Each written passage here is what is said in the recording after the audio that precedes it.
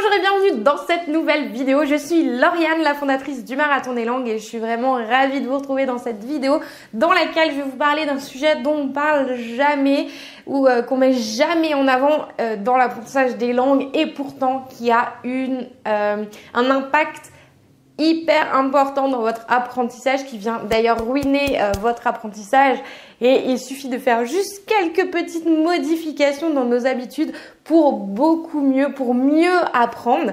Et en fait aujourd'hui, donc je vais vous parler de la position du corps, de la communication non verbale dans votre apprentissage euh, pour eh bien mieux mémoriser. Vous allez voir, c'est vraiment des petits détails qui vont euh, vraiment faire la différence. Je l'utilise également et, euh, et, bien forcément, ça me donne des résultats et c'est pour ça que j'avais envie de le partager avec vous. Jingle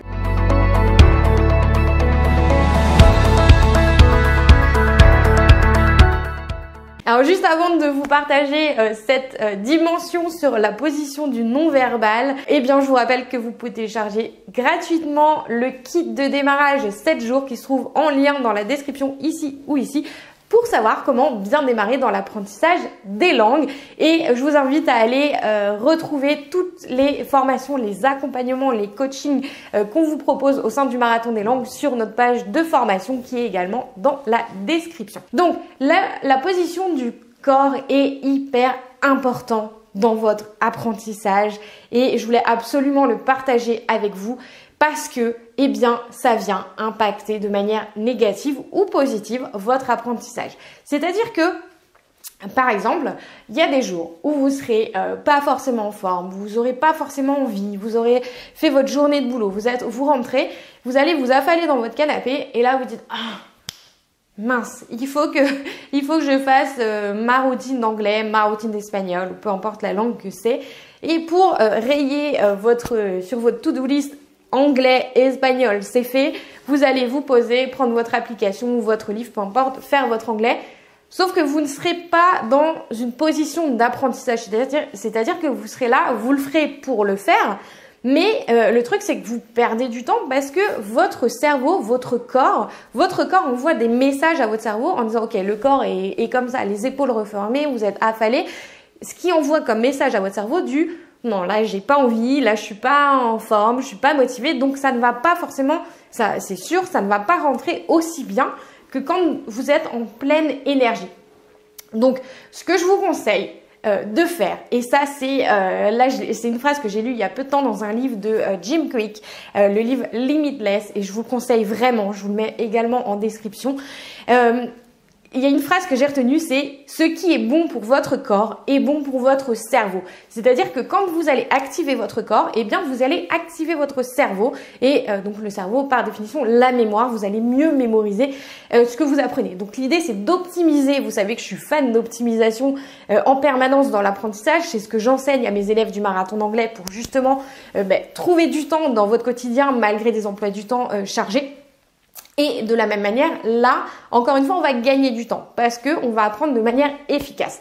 Donc, quand vous êtes euh, en position euh, fatigué, euh, refermé, etc., ce qu'on veut aller chercher, c'est aller ouvrir son corps pour aller rechercher un niveau d'énergie qui nous mette dans une situation où on est prêt à accueillir l'information et à la mémoriser sur le, sur le long terme, plus que rayer votre to-do list, ça c'est fait.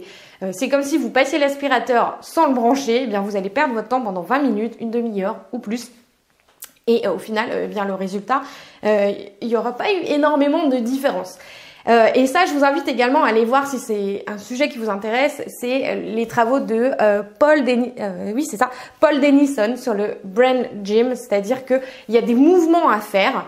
Il, a sorti toute une méthodologie. Je vous mets le lien de, de son livre exact également en description toute une méthodologie de mouvement à faire pour mettre son cœur, son corps en accueil de euh, euh, l'apprentissage quand vous apprenez quelque chose.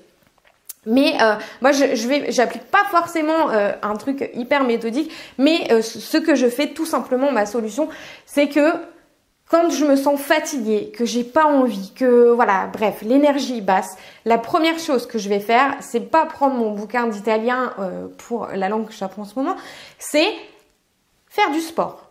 Alors vous allez me dire, ah oui, mais justement, on est fatigué, on n'a pas envie de faire du sport. Eh bien, justement, c'est contre-intuitif. Parce que vous êtes fatigué, vous allez en faire. Pas besoin d'aller faire un marathon. Euh, il suffit de pendant 10 minutes, même 5 euh, minutes, vous faites, euh, bon, je, vais peut-être vous faire peur avec ça, mais vous faites 10 pompes, vous faites 10 squats, vous, vous sautez, vous, voilà, vous mettez en énergie, vous ouvrez votre corps, vous faites 10 minutes de finesse. moi j'aime bien, moi ce que j'aime c'est aller courir, donc je vais soit aller courir et quand on revient d'une séance de sport, la fatigue qu'on avait juste avant, est juste effacé. Et là, vous êtes dans une, une position de mémorisation. Euh, ce que vous pouvez également faire, euh, les jours où vous êtes vraiment vraiment fatigué et que là il n'y a pas d'énergie pour faire du sport du tout. Cela dit, c'est bien de se pousser un petit peu, de se mettre un petit coup de pied aux fesses euh, pour y aller parce que pour moi c'est la meilleure méthode. la deuxième, c'est de faire des, euh, des, exercices de respiration. Donc c'est ce qu'on appelle de la cohérence cardiaque. Euh, moi c'est un truc que je fais euh, tous les jours en me levant, mais également le midi si je sens qu'il y a un petit coup de barre avant de reprendre l'après-midi, ça me remet en énergie. Et juste avant d'apprendre, parce que ça vous met en fait la cohérence cardiaque, c'est quoi? C'est un exercice de respiration.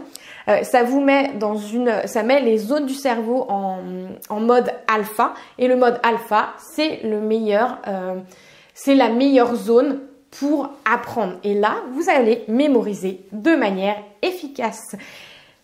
Donc j'espère que cette vidéo vous aura plu. Euh, n'hésitez pas à me mettre vos commentaires euh, juste en dessous de la vidéo, me dire si c'est des choses que vous faites déjà et euh, quand vous l'aurez mis en application, me dire eh bien si vous voyez des différences dans votre mémorisation. N'hésitez pas à liker, à partager, à partager cette vidéo et à vous abonner si ce n'est pas encore fait. Et moi, je vous dis à très vite dans une prochaine vidéo pleine d'énergie. Ciao